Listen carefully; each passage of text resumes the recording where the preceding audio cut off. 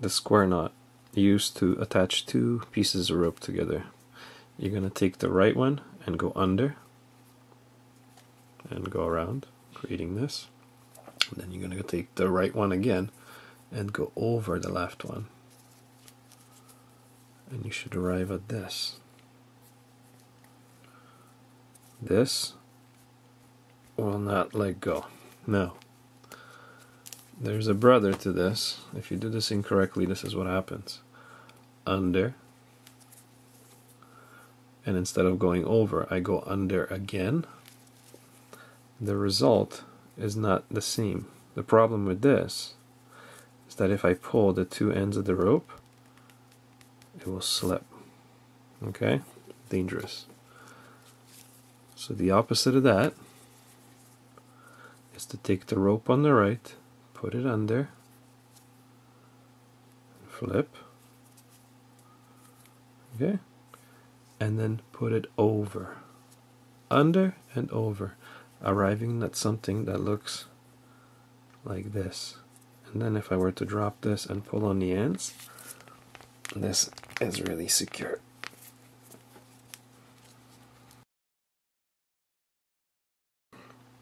Now let's take a look at attaching two different diameter ropes to each other.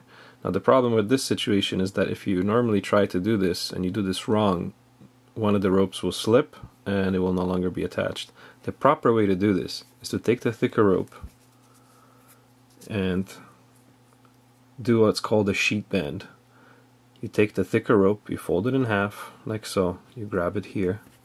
You take the thinner rope, you come up through the loop okay, from underneath. You take it around this way, and then you pass it through underneath this part right here. Okay, this is what's called a sheet bend. This is not likely to slip on you once it's tightened up. Two different diameter ropes attached the proper way. And you can double up this knot if you feel like it, but this is just strong enough. So let's go through that again. The sheet bend. I'm going to take the thicker rope, fold it in half, come up with the loop. I'm going to take the thinner rope, come through the loop, and wrap it around, and then pretty much come, take this part of the rope, raise it up, and take the end of the rope and come up underneath it, creating that. And as you tighten this together, pull it all together, these two become inseparable. So even if I let go of this end, this will not go anywhere. Now normally if you are attaching two different diameter ropes to each other, they tend to slip. This prevents that, the sheet bend.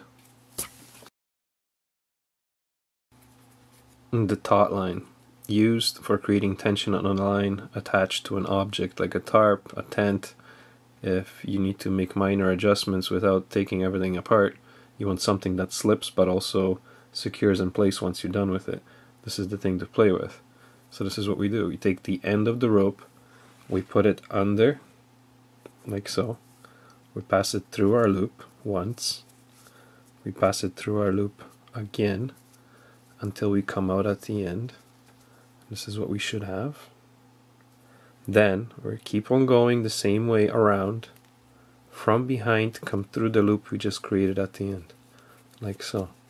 You tighten all that up and what you should have is something that looks like this. What this does is that it's adjustable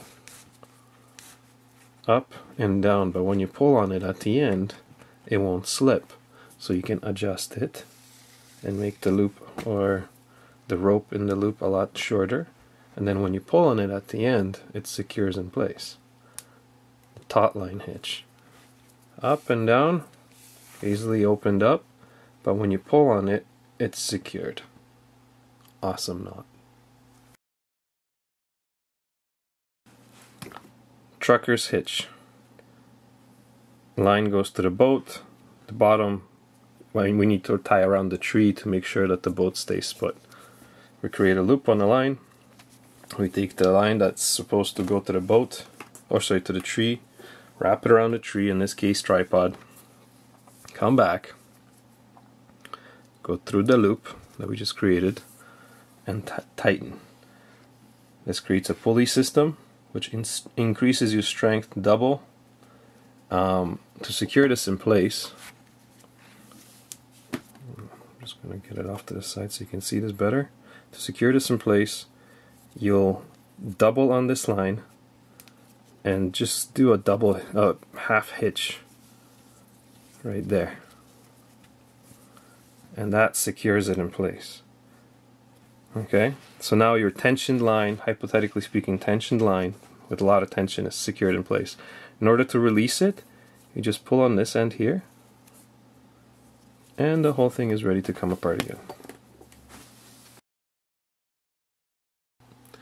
the double figure eight loop um, the best thing I can think of is creating a loop that is non-slip. It won't close up or it won't open up for you. Um, where would I use this? Any outdoor emergency situation. Uh, let's say you have to put a line around somebody, you don't want that loop to close. This is the one to use. It will definitely not slip and it creates a fixed loop in place, which works just great. So what you would do is you would put the line together like so. Okay, what we're going to do is we're going to go around my fingers onto the left, around again, and then take the first loop and pass that through. And there's your figure eight. This loop will not slip. It will stay exactly the same as it is right now. And that's what the double figure eight should look like. Um, I may have to adjust it to make it look a little prettier, but get the picture. That's what it looks like. And this loop does not open or does not close. It stays put. Let's go through that again. You take your end of the rope, put it together, grab it where the two meet. Gonna take the other end. Okay, so I just have them right here.